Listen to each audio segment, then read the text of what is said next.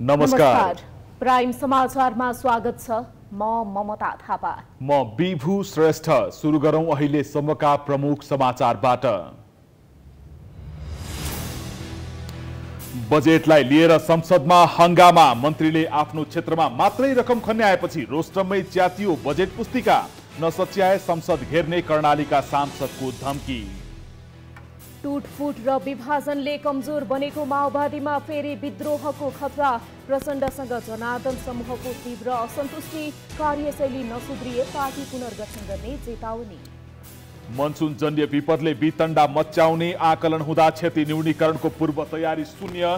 संसदमा उठ्यो सरकारमाथि प्रश्न चार जिल्ला पहिरोको उच्च जोखिममा। उत्तर भारतमा अत्याधिक गर्मीका कारण पछिल्लो चौबिस घण्टामा एक सय सात जनाको मृत्यु तापक्रम सत्तालिस डिग्री भन्दा माथि विद्यालयहरू धमाधम बन्द।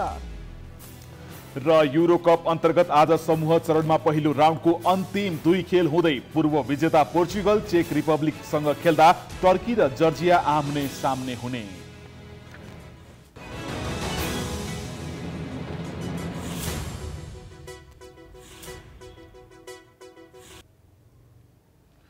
प्राइम समाचार अब विस्तारमा। प्रचण्ड नेतृत्वको सरकार खिचडी जस्तै छ। विभिन्न दल मिलाएर बहुमत पुर्याए पनि सत्ता पक्ष भित्रै अनेकौं विषयमा असहमति छ। पछिल्लो समय सत्ताको प्रमुख घटक एमाले बजेटप्रति असन्तुष्ट छ। एमालेलाई नै बल पुग्ने गरी विपक्षी दलहरूले बजेटको चर्को आलोचना मात्रै गरेका छैनन्। संसदको रोस्टरमै बजेट च्यातिएका दृश्य देखिएको छ भने बहिष्कार गर्ने सम्मको चेतावनी दिएका छन्। मंगलबार प्रतिनिधि सभामा उप प्रधान सहित विभिन्न मन्त्रालय सम्हालेका मन्त्रीहरू लक्षित बजेट बहस भयो। छलफलका क्रममा गृह तथा उप प्रधानमन्त्री रवि लामिछाने र भौतिक पूर्वाधार तथा यातायात सहितका उप प्रधानमन्त्री रघुवीर महासेठ निशानामा परे। राष्ट्रिय प्रजातन्त्र पार्टीका अध्यक्ष समेत रहेका सांसद राजेन्द्र लिङदेनले भौतिक पूर्वाधार तथा यातायात मन्त्रालयको बजेट विनियोजनप्रति चर्को असन्तुष्टि व्यक्त गरे। मन्त्री रघुवीर महासेठले मनलाग्दी तरिकाले बजेट विनियोजन गरेको र सांसदहरूको व्यवस्था गरेको भन्दै लिङदेन आक्रोशित रूपमा देखिए। सामान्य लाज पनि नराख्ने। यो देख्छन् यो पढिने चिज हो यहाँ देखिने चिज हो। मलाई बहुत इच्छा थियो यो दुई तिन दिनदेखि यो हुर्याइदिउँ। कसैको मुखमा लगेर ठोकिदिउँ। तर मिल्दैन। कसरी यस्तो बजेट बनाउन सकिन्छ भने कसरी यस्तो यसरी लेख्न सकिन्छ भने कसरी यस्तो लेख्न सकिन्छ भने? लिङ्कदेन यतिमै रोकिएनन्। आफू धेरै नरिसाउने मान्छे भए पनि भौतिक पूर्वाधार तथा यातायात मन्त्रालयको पुस्तिका हातमा परेपछि रिस थाम्न नसकेको भन्दै रोस्ट्रममै उभिएर विनियोजन पुस्तिका नै च्याति दिए। अब यो भौतिक पूर्वाधार यातायात मन्त्रालयको यो पुस्तिका हातमा पर्यो। त्यो दिनदेखि म यसरी तातिएको छु कि यो यसरी च्यातेर यसरी यसरी? च्यातेर यसरी हुर्याउने मन छ तर यो संसदीय मर्यादा विपरीत हुन्छ भनेर कहाँ हुर्याउनु पर्ने त्यहाँ चाहिँ अब मैले नहुर्याएर यहाँ राख्छु। अझै रोचक दृश्य त के थियो भने लिङ्कदेनले सरकारको आलोचना गर्दै गर्दा नेपाली कङ्ग्रेसका सांसदले टेबल ठोकेर समर्थन जनाएका थिए। सम्पत्ति यसरी मन परि बाँड्न कसरी सकिन्छ भने कसरी आँट आउँछ यो देखिने कुरा हो। कसरी सकिन्छ? बजेटसँग असन्तुष्ट अर्का सांसद हुन् अमरेश कुमार सिंह। स्वतन्त्र सांसद सिंहले पनि बजेट विनियोजन प्रति असन्तुष्ट व्यक्त गर्दै शीर्ष नेताहरूले आफ्नो निर्वाचन क्षेत्रमा अत्यधिक बजेट लगेको तर अन्य सांसदको क्षेत्रलाई अन्याय गरेको सिंहको गुनासो छ। उनले बजेट पारित गर्ने दिन बहिष्कार गर्ने चेतावनी दिएका छन्। मन्त्री र प्रधानमन्त्रीको बजेट सिस्टम छ भने सभामुखको रुलिङ चाहन्छु अर्को साल बजेट संसदमा नप्रस्तुत गरियोस् संसदमा नपास गरियोस्। त्यही क्याबिनेटबाट पास गरियोस् त्यही प्रधानमन्त्रीले गरोस्। यसमा प्रधानमन्त्रीको रुलिङ चाहन्छु। प्रधानमन्त्रीको रुलिङ बारेमा म बजेटको बहिष्कार अन्तिम दिन भोटिङको बहिष्कार गर्छु। सांसद हृदयराम थानीले कर्णाली प्रदेशमा सडक निर्माणका लागि बजेट नछुट्याए संसद भवन र भौतिक पूर्वाधार मन्त्रालय घेराउ गर्ने चेतावनी दिएका छन्। कर्णाली प्रदेशलाई सरकारले उपेक्षा गरेको भन्दै थानी आक्रोशित भएका हुन्। कर्णालीलाई के दिएको मृत्यु राजमार्ग बन्द गरेर दिएको हो? त्यसैले म भन्न चाहन्छु यदि यही तरिकाले सरकार गर्यो भने कर्णालीका प्रदेशका सांसदहरूले संसद घेराउ पर्नुपर्नेछ मन्त्रालय घेराउ गर्नुपर्नेछ अर्थमन्त्री वर्षमान पुनले प्रस्तुत गरेको आर्थिक वर्ष एक्कासी बयासीको बजेटप्रति सत्ताको प्रमुख घटक नेकपा एमाले समेत असन्तुष्ट छ। मन्त्री एउटा निर्वाचन क्षेत्र र एउटा जिल्लाको मात्रै हुँदैन ऊ सिङ्गै देशको हुन्छ। सांसद पनि सिङ्गो देशको हुन्छ। त्यो सिङ्गो देशलाई बोक्ने ल्याकत देखाउन सकिन्छ कि सकिन्न त्यो आफूमा भर पर्ने कुरा हो र त्यो तपाईँ तपाईँ हाम्रो कामले सांसदका अभिव्यक्तिले मन्त्रीका कामहरूले ती कुराहरूलाई व्यक्त गर्छ। म भौतिक योजना मन्त्रालयबाट यहाँभन्दा बढ्दा टिप्पणी गर्न चाहन्न। अन्य दलहरू भने मन्त्रालयगत बजेटको केस्रा केस्रा केलाएर चर्को असन्तुष्टि जनाइरहेका छन्। मंगलबारको छलफलमा गृह मन्त्रालयको बजेट र नीतिको पनि आलोचना भएको छ। गृह मन्त्रालयको पनि चालु खर्च एक अरब दस करोड वृद्धि भएको स्थिति छ। त्यसपछि यो सार्वजनिक जग्गादेखि लिएर सुशासन कायम गर्ने सन्दर्भमा गृह मन्त्रालयले जुन स्पष्टता प्रस्तुत गर्नुपर्ने हो त्यो स्पष्टता प्रस्तुत गरेको स्थिति छैन। आएको छ। तर संसदमा जति नै विरोध भए पनि वा रचनात्मक सुझाव आए पनि बजेट जस्ताको तस्तै बहुमतले पारित गर्ने निश्चित छ। प्रधानमन्त्रीदेखि मन्त्रीहरूले समेत आफ्नो क्षेत्रमा मात्रै बजेट केन्द्रित गर्न थालेका छन्। आयोजना प्राथमिकीकरणको खिल्ली उडाउँदै सीमित नेता र मन्त्रीहरूको निर्वाचन क्षेत्रमा मात्रै बजेटको खोलो बगाइएको छ। जसका कारण सत्तारूढ र विपक्षी दुवैतर्फका दलले बजेट वितरण शैलीको चर्को विरोध गरेका छन्। नेतृत्वकर्ताले सबै क्षेत्रमा समान दृष्टिकोण राख्नुपर्ने हो। तर विडम्बना नेपालमा प्रधानमन्त्रीदेखि मन्त्रीसम्मले आफ्नो क्षेत्रलाई मात्रै प्राथमिकतामा राखेर बजेट छुट्याउँदै आएका छन्। सहरी विकास मन्त्रालयमा बयानब्बे अर्ब बैसठी करोड बजेट छुट्याइएको छ जसमा प्रधानमन्त्री पूर्व प्रधानमन्त्री र बहालवाला मन्त्रीको गृह जिल्लामा मात्रै आठ अर्ब अठार करोड विनियोजन गरिएको छ। एमाले अध्यक्ष केपी ओलीको गृह जिल्लामा मात्रै तीन अर्ब बजेट छुट्याइएको छ। त्यस्तै अर्थमन्त्री वर्षमान पुनको गृह जिल्ला रोल्पामा दुई अर्ब तेइस करोड प्रधानमन्त्री पुष्पकमल दाहालको निर्वाचन क्षेत्र रहेको गोर्खामा एक अर्ब पच्चिस करोड छुट्याइएको छ। सहरी विकास मन्त्री धनबहादुर बुढाले आफ्नो गृह जिल्ला डोल्पामा एक अर्ब सत्तरी करोड छुट्याएका छन्। सत्तामा बसेर राष्ट्रिय गौरवका आयोजनालाई व्यवस्था गर्दै आफ्नो क्षेत्रमा मात्रै बजेट पठाउने प्रविधिको सांसदहरूले चर्को विरोध गर्दै आएका छन्। विरोध गरेमा सत्तारूढ दलकै सांसद छन्। यता सुदूरपश्चिमको डोटी जिल्लामा भने राष्ट्रिय गौरवको योजना भनिएको खुटिया दिपायल द्रुत मार्ग मात्र छयासी किलोमिटर पनि वर्षौँदेखि बजेट अभावको कारण अलपत्र छ। सभामुख महोदय नेपालको विकास चाहने हुने हरेक कुनामा समान विकास हुनुपर्छ। प्रत्येक नागरिकको बराबर हक सुनिश्चित हुनुपर्छ। दोस्रो पटक भौतिक पूर्वाधार तथा यातायात मन्त्री बनेका रघुवीर महासेठले पनि आफ्नो जिल्लामै बजेट केन्द्रित गरेका छन्। मन्त्री महासेठले धनुषामा मात्रै आठ अर्ब सतहत्तर करोड चार लाख बजेट छुट्याएका छन्। आफ्नो पार्टी अध्यक्ष रिजाउन झापामा छ अर्ब सत्तरी करोड बजेट विनियोजन गरेका छन्। मन्त्रालयको बजेट सिलिङको दस दशमलव दुई आठ प्रतिशत झापा र धनुषामा छुट्याएको भौतिक पूर्वाधार मन्त्रालयले कर्णाली प्रदेशमा सात अर्ब छत्तिस करोड अडचालिस लाख चौध हजार मात्रै छुट्याएको छ। मन्त्री महासेठले बजेट विनियोजन गर्ने शैलीले दिक्क भएका कतिपय सांसदले त राजीनामा नै मागेका छन्। देशको के नक्सामा एउटा जिल्लाको दुई क्षेत्र मात्रै छ। यदि दुई क्षेत्रलाई मात्रै बनाउनका लागि उहाँ मन्त्री बन्नुभएको भने राजीनामा उहाँले दिनुपर्छ। बजेटमा कर्णाली प्रदेशलाई अपमानित गरेको भन्दै राष्ट्रिय प्रजातन्त्र पार्टीका सांसद ज्ञानेन्द्र साईले भौतिक पूर्वाधार मन्त्रीलाई धनुषाको मात्रै मन्त्री बनेको आरोप लगाएका छन्। यो देशका जनताले रगत र पसिना तिरेर करबाट आर्जित बनेको पैसाको बजेट हो सबैलाई समानताका आधारमा बजेटलाई बाँडफाँड गरिनुपर्छ। तपाईँहरूले कर्णालीलाई हेप्नुभयो। तपाईँले यो भौतिक पूर्वाधार मन्त्रालयको बजेट बनाउँदै गर्दा यी सांसदहरूसँग छलफल गर्नुभयो।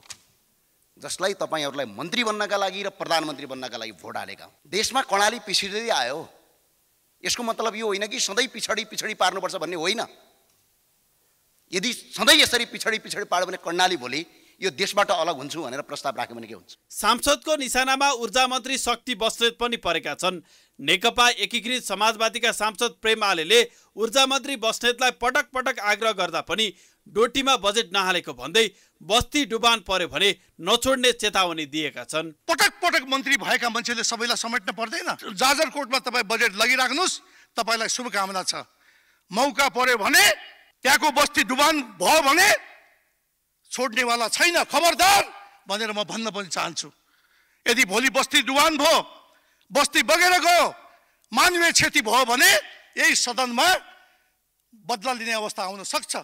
डोटीले जनताले मलाई यो कुरा बोल भनेर मैले यहाँ बोलिराखेको छु। सांसद वा मन्त्री मुलुकको प्रतिनिधि हुन् तर आफ्नो निर्वाचन क्षेत्रको मात्र स्वार्थ केन्द्रित हुँदा बजेटमा व्यथिति मौलाएको छ। निर्वाचनमा चुनाव जित्ने लक्ष्य बाहेक अरू कुनै स्वार्थ नहुँदा मन्त्रीहरू बजेटमा पक्षपाती बनेको कुरा बुझ्न कठिन छैन। जसका कारण बजेट वितरण असमान हुने गरेको छ। प्रधानमन्त्री पुष्पकमल दाहालले उपेन्द्र यादव नेतृत्वको जसपा विभाजन गरेर आफ्नो सत्ता यात्रा सहज बनाए तर उनको पार्टी विधि र पद्धति अनुसार नचलेको भन्दै उपमहासचिव जनार्दन शर्मा चरम असन्तुष्ट पोखिरहेका छन्।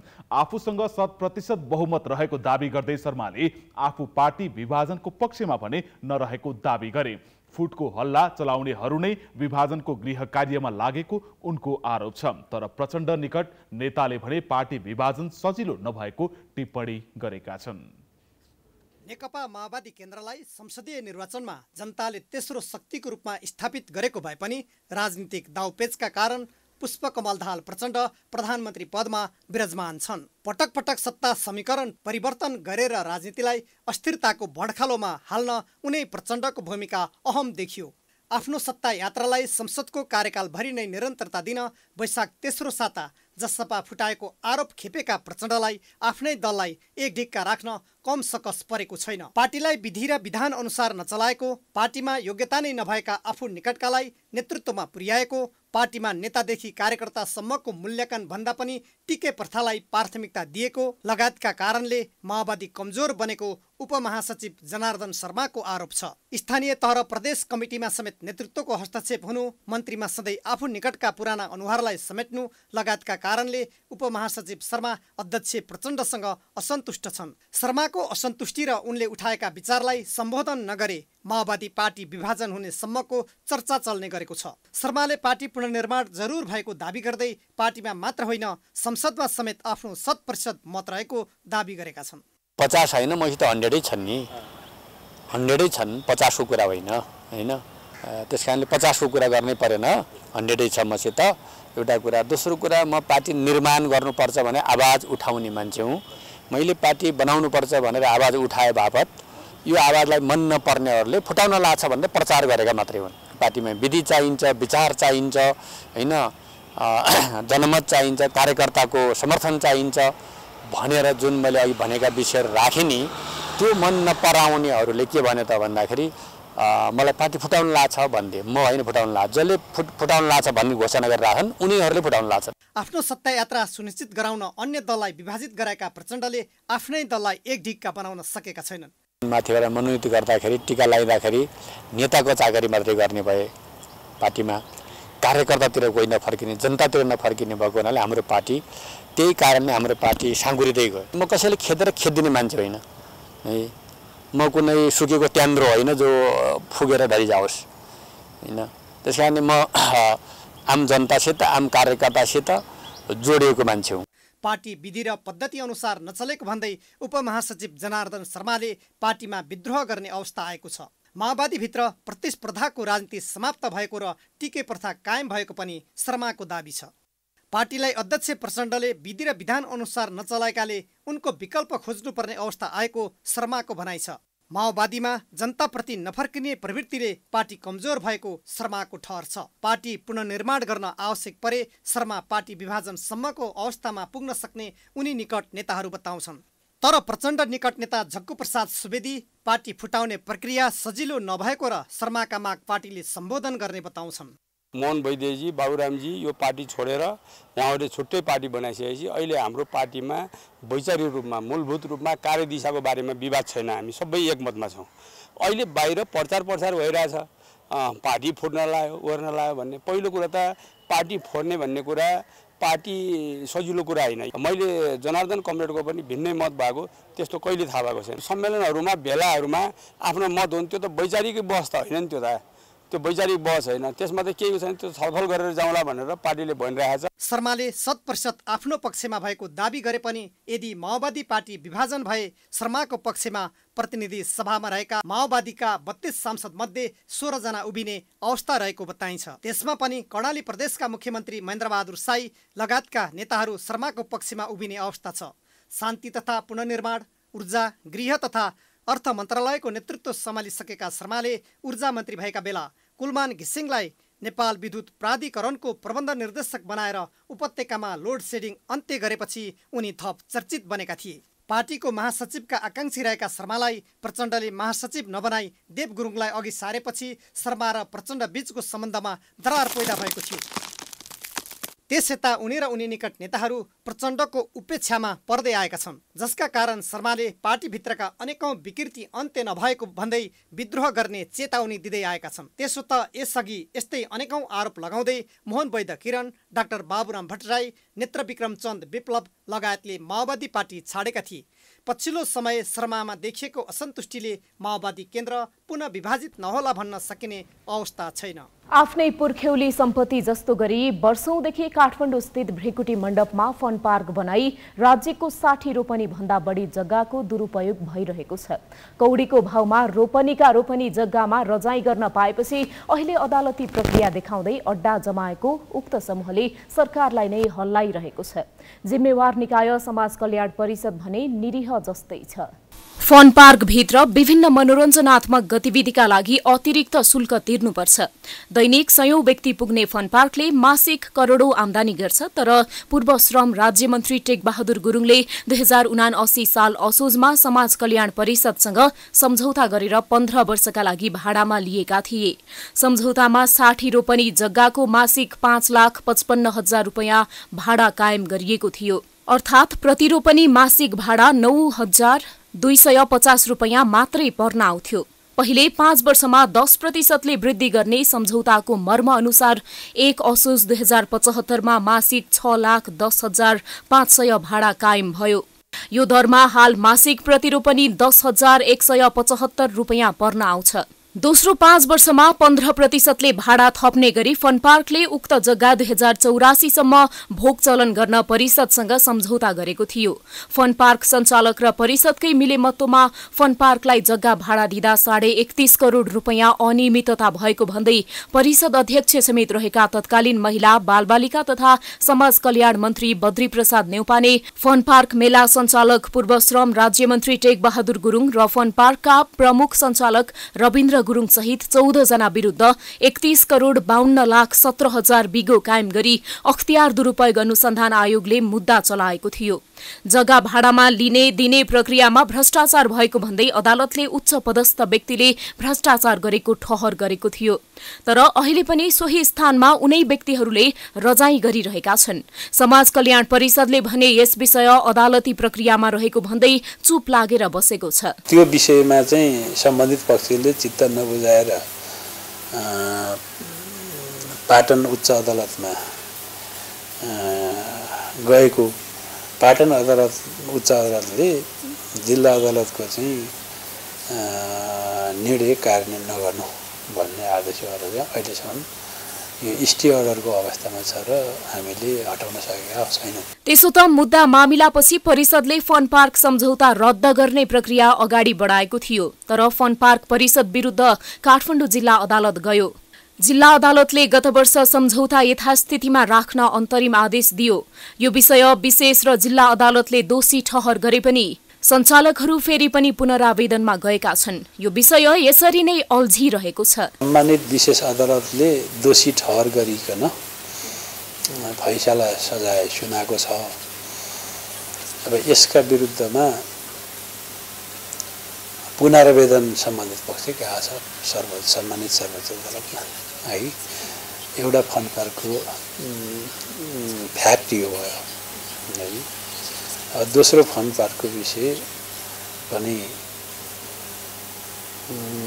सञ्चालन ठेका ठेक्का लिएको करिब चौध महिना प्लस भए पछाडि भाडा नतिरेको तिन महिनाको बक्यौता रहे पछाडि हामीले ठेक्का सम्झौता पुरानो फन पार्कसँग जोडिएको अर्को पच्चिस रोपनी जग्गा रहेको नयाँ बाल उद्यान फन पार्कको जग्गा विगत एक वर्षदेखि ठेक्कामा लगाउन सकेको छैन। दुई हजार उना अस्सी असारमा पाँच वर्षका लागि अमात्य इन्टरप्राइज इन्टरनेसनल सप्लायर्सलाई दिएको ठेक्का उक्त कम्पनीले भाडा नदिएपछि चौध महिनामै रद्द गरिएको थियो। मासिक सोह्र लाख आमदानी गर्दै आएको उक्त जग्गा अहिले अलपत्र छ। यसरी भ्रेकुटी मण्डपको जग्गा कहिले कौडीको भावमा दिने त कहिले अलपत्र पार्ने गरिएको छ। प्राइम समाचार जारी छ। हामी विश्रामपछि आउँछौ।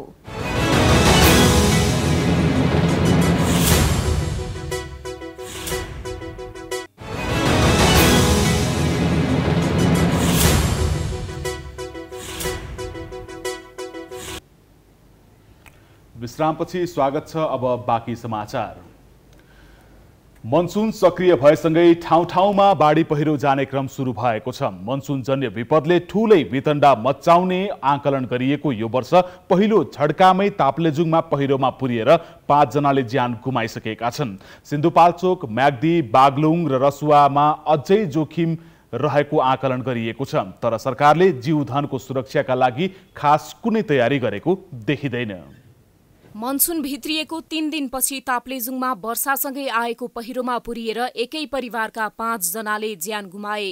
ताप्लेजुङको फक्ताङलुङ गाउँपालिकाका बस्तीहरू अहिले पनि पहिरोको त्रासमा रात बिताइरहेका छन्। जेठ एकतिस गते राति ताप्लेजुङमा जुन घटना भयो त्यस्तो जोखिममा देशका एक दर्जन भन्दा धेरै जिल्ला छन्। मौसम पूर्वानुमान महाशाखाले पहिरोको उच्च जोखिम सिन्धुपाल्चोक म्याग्दी बागलुङ र रसुवा जिल्ला भएको भन्दै सतर्कता अपनाउन सूचना नै जारी गरेको छ। कोशी र मध्य प्रदेशका अधिकांश जिल्लाहरू बाढीको उच्च जोखिममा रहेको आकलन गरिएको छ। मौसम पूर्वानुमान महाशाखाले तीन दिनको पूर्वानुमान सार्वजनिक गर्दै विभिन्न माध्यमबाट सूचना प्रवाह गर्ने जनाएको छ। त्यसबाहेक कृषि क्षेत्रको सात दिनको पूर्वानुमान गर्नेछ जसलाई आधार मानेर सजग रहन मौसमविदको सुझाव छ। सात दिनको पूर्वानुमान र तिन दिनको पूर्वानुमानमा आधारित रहेर चाहिँ सबैजनाले जानकारी प्राप्त गर्नुभयो भने हामीहरूले चाहिँ फेसबुक ट्विटर हाम्रो वेबसाइट छ डिएचएमको वेबसाइट अनि एमएफटीको वेबसाइट होइन? हामी इमेल पनि गर्छौँ। अब सरकारवालाहरूलाई सबैलाई हामी इमेल पनि गर्छौँ क्या त्यो स्पेसल बुलेटिन र विशेष बुलेटिन र विशेष अवस्थामा इमेल र इमेलबाट पनि हामी डाइरेक्ट उहाँहरूसँग कन्ट्याक्टमा हुन्छौँ। मौसम पूर्वानुमान महाशाखाले सतर्कताका लागि अपिल गरिरहँदा सरकारले भने पूर्व तयारीका लागि पूरै व्यवस्था गरेको छ। न स्रोत साधनको जोहो न आवश्यक तालिम र बजेट नै विनियोजन गरिएको छ।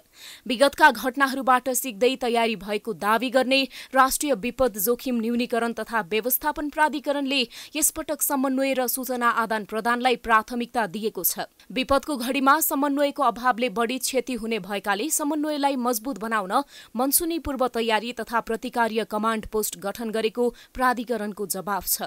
उद्धारका लागि तीन तहबीच समन्वय गर्ने प्राधिकरणको भनाइ छ। विपदको निम्ति स्थानीय तह एकदमै महत्त्वपूर्ण हुन्छ। विशेष गरी रात र उद्धारको कार्यमा त उहाँहरूको ठुलो नै भूमिका हुन्छ। तर एउटा हामी भर्खरै संहिताको यो सिकाइमा छौँ जसको कारणले गर्दा अपेक्षित रूपमा स्थानीय तहहरूको क्षमता अभिवृद्धि भइसकेको छैन। जुन एउटा नेपालको विपद व्यवस्थापनको क्षेत्रमा एउटा महत्त्वपूर्ण चुनौती पनि हो त्यस कारणले गर्दा उहाँहरूको क्षमता अभिवृद्धि गर्नको निम्ति सङ्घीय सरकार र प्रदेश सरकारले विशेष थप लगानी गर्न जरुरी छ र उहाँहरूलाई सँगसँगै सहकार्यको बाटोमा लिएर जानु सूचना र समन्वयलाई प्राथमिकतामा राखेको भनिए पनि सङ्घ प्रदेश र स्थानीय तहबीच यो विषयमा सामान्य छलफल पनि भएको छैन। यसका लागि आवश्यक बजेट समेत सरकारले दिएको छैन। बजेटको अभावमा उद्धार र पुनर्स्थापनाको काम पनि कठिन हुने स्वयं स्थानीय जनप्रतिनिधिहरूले बताउने गरेका छन्। मनसुनजन्य विपदबाट सबैभन्दा धेरै क्षति सूचनाको अभाव र उद्धारका लागि समयमा टोली पुग्न नसक्दा हुने गरेको छ। मनसुनजन्य विपदबाट देशभर अठार लाख एक हजार मानिस प्रभावित हुने अनुमान छ। यसलाई मध्यनजर गर्दै कम भन्दा कम क्षति हुने गरी तिनै तहका सरकारहरू पूर्व तयारीमा जुट्न आवश्यक छ। असार लागेसँगै मनसुन सक्रिय हुँदा प्राकृतिक विपत्तिका घटनाहरू बढ्न थालेका छन्। प्राकृतिक विपत्तिमा परेर वर्षेनी ठूलो संख्यामा अङ्गभङ्ग र जनधनको क्षति हुने गरेको छ। विपत्तिको क्षति रोक्न सरकारको फितलो प्रयास र जोखिमपूर्ण भूबनोटमा बसोबास गरेकालाई स्थानान्तरण गर्न भएको ढिलाइले हजारौं स्थानीय सम्भावित भवितव्यको त्रासमा बस्न बाध्य छन्। असार लागेसँगै मनसुन सक्रिय हुँदा जिल्लाहरूमा बाढी पहिरो तथा डुबानको जोखिम बढेको छ। नेपालमा पूर्वी भूभागबाट भित्रिएको मनसुन कोशी प्रदेशमा मात्र सीमित हुँदा पूर्वी पहाडी जिल्लाहरूमा केही दिन यता बाढी पहिरोले त्रास फैलाएको छ। केही दिन पहिले मात्रै पहिरो र बाढीका कारण आधा दर्जनले ज्यान गुमाएका छन् भने दुई दर्जन बढी परिवार विस्थापित भएका छन्। सुरुवाती चरणमा अन्य प्रदेशमा मनसुन प्रवेश गर्न नसक्दा कोशी प्रदेशमा पारीले बढी क्षति पुर्याएको छ। कोशी लुम्बिनी कर्णाली र सुदूरपश्चिम प्रदेश लगायत बाँकी भूभागमा स्थानीय र पश्चिमी वायु तथा बिहार आसपासमा बनेको न्यून चापिए क्षेत्रको आंशिक प्रभाव परेको छ। पश्चिमी वायुको चापका कारण पूर्वमा मनसुन सक्रिय भएको र बिस्तारै अब पश्चिमी भेगमा फैलिने मौसमविदले बताएका छन्। पछिल्लो दुई दिन यता ताप्लेजुङ सङ्खुवासभा लगायत पूर्वी पहाडी जिल्लामा अधिक वर्षा भएको छ। लगातारको वर्षापछि झरेको पहिरो र बाढीले जिल्लाका विभिन्न स्थानमा क्षति पुर्याउन थालेको छ। विपद जोखिम न्यूनीकरण तथा घटना घटेपछिको समयमा हुने सरकारको उपस्थिति फितलो हुने भन्दै जोखिम न्यूनीकरण जोखिमयुक्त गाउँ बस्ती तथा परिवार व्यवस्थापनमा सरकार गम्भीर हुनुपर्ने प्रतिनिधि सभाको मंगलबारको बैठकमा समेत सांसदहरूले ध्यान आकर्षण गराएका छन्। हरेक वर्षायाममा डुडुवा गाउँपालिका चोर्लुम्मै डुब्छ र आर्मीले ढुङ्गा लगाएर जनतालाई बचाउनु पर्ने स्थिति हुन्छ। सामान्य हाउसले भारतसित कुटनीतिक कुरा मिलाएर लक्ष्मणपुरका बाँधहरू खुलाइराख्न पर्यो र त्यहाँका जनताहरूलाई यो अत्यन्तै यो वर्ष वर्षा हुने भन्ने आकलन भएको छ यो वर्षामा बचाउनु पर्यो। मनसुन भित्रिसकेका छन् र विपद व्यवस्थापनका के कस्ता जोगाड भएको छ? के अरे विवश जिल्ला वाइज विपद व्यवस्थापन समिति छ। त्यसले के कस्ता कामहरूका तयारी गरेका छन् सभामुख महोदय? र यसको लागि पनि म सभामुख मार्फत गृहमन्त्रीज्यूलाई चाहिँ म आग्रह गर्न चाहन्छु। यतातिर पनि ध्यान जाओ। जल तथा मौसम विज्ञान विभाग भन्छ यस वर्ष विगतमा भन्दा अधिक वर्षा हुनेछ। यसबाट देशव्यापी रूपमा ठुलो जनधनको क्षति हुन सक्ने सम्भावना छ। जसको पूर्व सङ्केत ताप्लेजुङले दिइसकेको छ। बाढी पहिरोले सडक सञ्जाल अवरुद्ध हुने मानिसहरूको आवाज जावत र दैनिक उपभोग्य वस्तुको ढुवानी रोकिने अभाव र महँगीले नागरिकले भयानक शास्ति बेहोर्नुपर्ने हुन सक्छ। यस अवस्थामा गम्भीरतापूर्वक तयारीमा जुट्नुपर्ने सरकार उदासीन देखिएको छ। गत हप्ता पहिरोमा परि ताप्लेजुङको फताङलुङ गाउँपालिका दुई खेजेनिम तिन्जामा एकै घरका चारजनाको मृत्यु भएको थियो। त्यस्तै गत बुधबार मात्रै सङ्खुवा सभाको चिचिला गाउँपालिका तीन सोलाखानीमा पहिरोले पुरिएर एकजनाको मृत्यु भएको हो। अविरल वर्षापछि खसेको पहिरोमा परि अरूण तेस्रो जलविद्युत आयोजनाका मजदुर बर्दियाका गङ्गाराम थारूको मृत्यु भएको हो। पहिरोबाट जिल्लाका विभिन्न ठाउँका परिवार विस्थापित भएका छन्। वर्षात सुरु भएसँगै पहाडी जिल्लामा पहिरोको जोखिम हुने गरेको छ भने तराईमा डुबानको जोखिम छ। वर्षेनी बाढी पहिरोको कारण ठूलो जनधनको क्षति हुने गरे पनि सरकार भने पूर्व तयारीमा सुस्त छ। घटना घटेपछि उद्धारमा निकै हतार गर्ने सरकार जोखिम रोकथाम तथा व्यवस्थापनमा भने सुस्त देखिन्छ। हरेक वर्ष सरकारले जोखिम न्यूनीकरणका लागि भन्दै विभिन्न अभ्यासका लागि करोडौं रकम खर्च गर्ने गरेको पाइन्छ। तर आपत परेको अवस्थामा प्रभावकारी रूपमा विपद न्यूनीकरण तथा रोकथाममा सक्रिय नहुँदा नागरिकले ठूलो जीवधनको क्षति बेहोर्नु परेको छ। दैनिक व्यस्त हुने व्यापारिक केन्द्र हो काठमाडौँको न्यू रोड क्षेत्र। यही व्यापारिक केन्द्रमा पछिल्लो समय फुटपाथ विस्तार गरी फराकिलो गर्ने काम सुरु भएदेखि विवाद चर्किएको छ। सडक विभाग काठमाडौँ महानगर र वडाको तालमेल नमिल्दा व्यापारीहरू मर्कामा पर्दै आएका छन्। काठमाडौँ उपत्यकाको केन्द्र मानिन्छ न्यू रोड क्षेत्र। पछिल्लो समय यस क्षेत्रमा फुटपाथ विस्तार गर्ने विषयमा सडक डिभिजन कार्यालय र महानगर बीच विवाद उत्पन्न हुँदा व्यवसायी मर्कामा पर्दै आएका छन्। फुटपाथ विस्तारका लागि नयाँ सडक धर्मपथ शुक्रपथ खिचापोखरी लगायतका सडक खड्डामा पैदल मार्ग फराकिलो गर्ने काम सुरु भएको छ। यी क्षेत्र महानगरको वडा नम्बर बाइस तेइस र चौबिसमा पर्दछ। अहिले यो क्षेत्र निकै विवादित बनेको छ। भर्खरै कोरोनापछि तङ्ग्रिन लागेको न्युरोडका व्यापारी तथा व्यवसायी महानगर र ओडाको फुटपाथ विस्तारका कार्यमा समय नहुँदा दिन प्रतिदिन अनेक झमेला बेहोरिरहेका छन्। फुटपाथ र पार्किङलाई व्यवस्थित गर्ने भनेर महानगर लागि परेको छ। यता ओडा अध्यक्षहरू भने त्यस कार्यमा महानगरप्रति आपत्ति जनाउँदै आएका छन्। सोमबार ओडा नम्बर बाइसका ओडाध्यक्षले सोही क्षेत्रमा महानगरले सडक पेटीमा राखेको बार हटाएपछि झन उनी विवादित बनेका छन्। उनले महानगरसँग समन्वय नगरी बार भत्काएपछि व्यवसाय र स्थानीयहरूले आपत्ति जनाएका छन्। पैदल यात्री र व्यवसायीका लागि सडकको बार हटाउनु पर्ने भए पनि आवश्यक समन्वयमा गर्नुपर्ने उनीहरूको तर्क छ। मेन कुरो पार्किङ छैन। पार्किङ भइदिए अझ राम्रो हुन्छ कि? पेटीमा हिँड्ने मान्छेलाई त सजिलै हुन्थ्यो नराख्यो। अब हामीलाई चाहिँ अब कस्टमरलाई सजिलो हुन्छ आउँदा राम्रो हुन्छ। जहाँ जहाँ सटर निक्लिएको थियो सटरको अगाडि चाहिँ बार नराख्दै भयो भने राम्रो होला जस्तो लाग्छ मलाई। होइन हटाउनु राम्रो हो र देशको जहाँ विनाश हुन्छ त्यहाँ विकास हुन्छ। जहाँ पुरानो चिजहरूलाई चाहिँ भत्काएर नयाँ बनाउन चाहिँ राम्रो हो। त्यही पनि अन्य अत्याचारै भएछ यहाँ। यता वडा नम्बर बाइसका वडाध्यक्ष चिनी काजी महर्जनले भने स्थानीयको सुविधालाई मध्यनजर राख्दै बार हटाएको बताएका छन्। यस विषयमा महानगरसँग पटक पटक समन्वय गर्न खोजेको पनि समन्वय नभएको उनको आरोप छ। यस विषयमा विवाद नभएको र महानगरसँग सहमति गरेरै सबै सडक पेटीका बार हटाइने उनको भनाइ छ। त्यसो भए सोमबार सडक पेटीमा गाडेको बार भत्काउने काम महानगर र ओडाको सहमतिमै भएको हो भनेर प्रश्न गर्दा उनले स्पष्ट जवाफ दिन भने सकेनन्। निकालेर लहर हामीले खोलामा बगाउने जलाउने केही पनि होइन। र अहिले जनताको माग अनुसार स्थानीयको माग अनुसार चाहिँ यसलाई अलि अप्ठ्यारो भयो। बार राख्दाखेरि चाहिँ जुन खुल्लापन हुनुपर्ने भन भन्ने खालको कुरा चाहिँ हामीले छेउको चाहिँ बारलाई पनि हामी यहाँ उपयुक्त ठाउँमा अब माग अनुसार व्यवस्थापन गर्छौँ। त्यसलाई चाहिँ अब बिगार्न खोजेको भनेर बुझ्नु भएन यता महानगरले भने वडाध्यक्षले समन्वय नगरी बार उखलेको आरोप लगाएका छन्। यद्यपि यो समस्या समाधान गर्नेतर्फ महानगर सकारात्मक रहेको प्रवक्ता नवीन मानन्दरले बताउँछन्। त्यहाँ राखिएका बारको कारणले किन चाहिँ बारको कारणले आम नागरिकलाई त्यहाँ चाहिँ व्यापारीहरूलाई र व्यापारको लागि हिँड्ने हिँड्ने चाहिँ बटुवाहरूको लागि अलिक कष्टकर भयो कि भन्ने चाहिँ त्यो एउटा पनि छलफलको विषय बन्यो। जसले गर्दाखेरि चाहिँ अब त्यहाँको बारहरू निकाल्ने भन्ने कुराहरू एक प्रकारको सहमति भएको छ।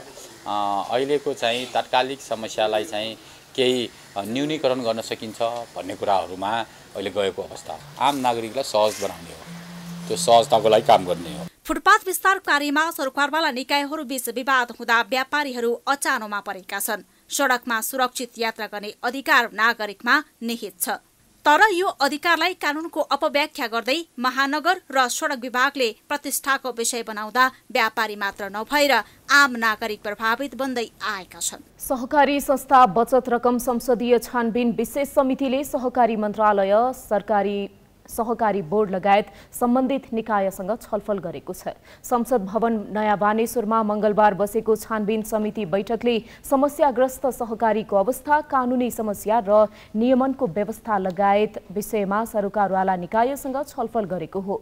बैठकमा बिसवटा समस्याग्रस्त सहकारीका सन्दर्भमा समस्याग्रस्त सहकारी व्यवस्थापन समितिका अध्यक्ष र सदस्य सचिवले लिखित प्रतिवेदन बुझाएको समिति संयोजक सूर्य थापाले जानकारी दिए। बाँकी अनुसूचीमा रहेका उन्तिसवटा समस्याग्रस्त सहकारीका विषयमा सहकारी विभागका तर्फबाट जानकारी लिइएको छ बैठकमा सहकारी क्षेत्रमा समस्या आउनुको कारणबारे जानकारी लिएको र समितिमा प्राप्त सहकारीको प्रतिवेदनका आधारमा छलफल अघि बढाउने सहमति भएको छ बिसवटा समस्याग्रस्त सहकारीहरूका सन्दर्भमा समस्याग्रस्त सहकारी व्यवस्थापन समितिका अध्यक्ष र सदस्य सचिवले लिखित रूपमा प्रतिवेदन दिनुभएको छ। बाँकी अनुसूची हामीले काम गरिरहेको अनुसूची एक र दुईका गरी उन्तिसवटा सहकारीका सन्दर्भमा सहकारी विभागका तर्फबाट हामीलाई जानकारी गराउने काम पनि भएको छ। त्यस्तै बजेट मार्फत पाँच लाखसम्मको बचतकर्ताको रकम फिर्ता गर्ने व्यवस्थाका विषयमा सहकारी मन्त्रीसँग छलफल भएको छ। गत जेठ पन्ध्र गते सहकारीको बचत रकम अपचलन सम्बन्धी छानबिन गर्न संसदीय छानबिन समिति गठन भएको थियो। शिक्षा विज्ञान तथा प्रविधि मन्त्री सुमना श्रेष्ठले शिक्षा क्षेत्रलाई राजनीति मुक्त बनाउने एजेन्डालाई प्रभावकारी बनाइने बताएका छन्। आफ्नो कार्यकालको एक सय दिनमा भएका काम र भावी योजनाका बारेमा जानकारी दिन आज सिंहदरबारमा पत्रकार सम्मेलन गर्दै मन्त्री श्रेष्ठले आफू अन्तिमसम्म पनि शिक्षा क्षेत्रलाई राजनीति मुक्त बनाउने एजेन्डा कार्यान्वयन गर्न लागि पर्ने बताएकी हुन्। अहिलेसम्म आठ सय भन्दा बढी शिक्षकहरूले राजनीतिक आबद्धता त्यागे पनि चित्त बुझ्दो भने नरहेको उनको भनाइ छ। उनले यसलाई प्रभावकारी बनाउन निर्वाचन आयोगसँग तथ्याङ्क समेत माग गरेको धारणा राखिन्। दलीय राजनीतिकरण हुनु हुँदैन भनेर यो मान्यता हो यो मेरो अन्तिम साससम्म मैले नछोड्ने एजेन्डा हो यो। अहिलेसम्म के कतिको प्रगति भएको छ यो तपाईँहरूले हेर्न सक्नुहुन्छ। कि यो प्रगति चित्त बुझ्दो छ? पटक्कै छैन। यो चित्त बुझेको छैन। तर यो सुरुवात हो। र यो गर्नुपर्ने काममा छ। यो काम गर्नको लागि सबैजनाले सहयोग गर्नुभयो भने यो एक्सपिडाइटेड वेमा हुन्छ। यो गर्नुपर्ने काम यो एउटा एन्टिटीको मात्रै हो भन्यो भने चाहिँ नि यो गाह्रो हुन्छ। मन्त्री श्रेष्ठले काजमा गएका कर्मचारीको तथ्याङ्क नरहेको र पालिकामा समेत शिक्षकहरूलाई राखिएको अवस्थामा त्यसलाई व्यवस्थित पार्ने काम सुरु गरिसकेको जानकारी दिइन्। उनले शिक्षा सेवा नियमावली अन्तिम चरणमा पुगेको राष्ट्रपति शैक्षिक सुधार कार्यक्रमलाई प्रभावकारी बनाउन खोजिएको जानकारी गराइन्। प्राइम समाचार जारी छ हामी विश्रामपछि आउँछौँ।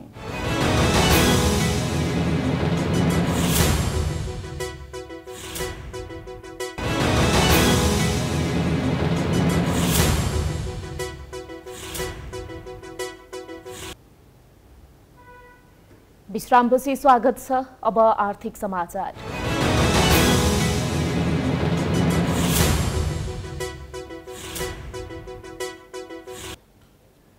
कबाड हटाउने निर्णयको विरोध गर्दै काठमाडौँ महानगरपालिका घेराउ गर्न खोज्दा कबाडी व्यवसायी र प्रहरी बीच झडप भएको छ। काठमाडौँ महानगरपालिकाको डोजर आतंक बन्द गर भन्दै काठमाडौँ प्लाजा कमलादी स्थित महानगरपालिका घेराउ गर्न खोज्दा प्रहरीले रोकेको थियो। सो क्रममा प्रहरी र व्यवसायी बीच झडप भएको हो। महानगरपालिका घेराउ गर्न प्रहरीले रोकेपछि प्रदर्शनकारीले ढुङ्गा प्रहार गरेका थिए। त्यसपछि प्रहरीले हस्तक्षेप गरेको थियो। झडपका कारण केही प्रदर्शनकारी घाइते भैया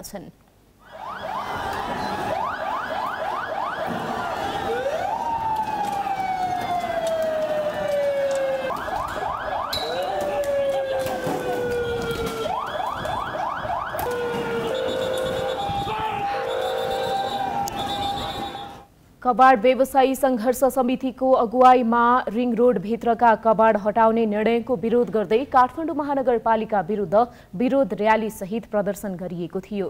प्रदर्शनका क्रममा ठूलो संख्यामा प्रदर्शनकारी महानगर घेराउ गर्न पुगेका थिए। आन्दोलनमा सहभागीहरूले अदालतको निर्णयको सम्मान गरौं अनधिकृत ढङ्गले कबाड हटाउने कार्य बन्द गरौं भनेर नारा लगाएका थिए। त्यसै गरी कबाडमाथि डोजर चलाउने कार्य बन्द गर कानुनी शासन लागू गर कबाडी एकता जिन्दाबाद लगायतका प्लेकार्ड र नारा लगाएर विरोध प्रदर्शन गरेका थिए। क्रसर उद्योग नवीकरणको माग राख्दै क्रसर व्यवसायीहरूले आज पनि काठमाडौँमा प्रदर्शन गरेका छन्। क्रसर बालुवा तथा खानी उद्योग नियमानुसार नवीकरण नगरिएको भन्दै नेपाल क्रसर तथा खानी उद्योग व्यवसायी महासङ्घले काठमाडौँको माइती घरदेखि बानेश्वरसम्म विरोध प्रदर्शन गरेका हुन्। उनीहरूले दूरी सम्बन्धी मापदण्ड दुई हजार सतहत्तर अव्यवहारिक भएकाले खारेज गर्नुपर्ने र दुई हजार उनासी माघ एघार गते मन्त्री परिषदको ढुङ्गा गिट्टी सम्बन्धी भएको निर्णय कार्यान्वयन गर्नुपर्ने माग राखेका छन्। व्यवसायीहरूले सरकारले क्रसर उद्योगीहरूको माग तत्काल सम्बोधन नगरेसम्म आन्दोलन जारी राख्ने जनाएका छन्। उद्योगले सरकारलाई तिर्नुपर्ने दस्तुर तिरेर नवीकरण गरेर सञ्चालन गर्न दिनुपर्ने उनीहरूको माग छ। हामी प्राइम समाचारको अन्त्यमा आइपुगेका छौँ। जाँदा जाँदै प्रमुख समाचार पुनः एकपटक। बजेटलाई लिएर संसदमा हङ्गामा मन्त्रीले आफ्नो क्षेत्रमा मात्रै रकम खन्याएपछि रोस्टममै च्यातियो बजेट पुस्तिका। नसच्याए संसद घेर्ने कर्णालीका सांसदको धम्की। टुटफुट र विभाजनले कमजोर बनेको माओवादीमा फेरि विद्रोहको खतरा। प्रचण्डसँग जनार्दन समूहको तीव्र असन्तुष्टि कार्यशैली नसुध्रिय पार्टी पुनर्गठन गर्ने चेतावनी। मनसुनजन्य विपदले वितण्डा मचाउने आकलन हुँदा क्षति न्यूनीकरणको पूर्व तयारी शून्य। संसदमा उठ्यो सरकारमाथि प्रश्न चार जिल्ला पहिरोको उच्च जोखिममा। उत्तर भारतमा अत्यधिक गर्मीका कारण पछिल्लो चौबिस घण्टामा एक सय सातजनाको मृत्यु तापक्रम सडचालिस डिग्री भन्दा माथि। विद्यालयहरू धममाधम बन्द। र युरोकप अन्तर्गत आज समूह चरणमा पहिलो राउन्डको अन्तिम दुई खेल हुँदै पूर्व विजेता पोर्चुगलले चेक चेक रिपब्लिकसँग खेल्दा टर्की र जर्जिया आम्ने सामने हुने। प्राइम समाचार अहिलेलाई सकियो। यसपछिको प्रस्तुति जनता जान्न चाहन्छन् ऋषि धमलाको साथमा। हेर्दै गर्नुहोला प्राइम एचडी। नमस्कार।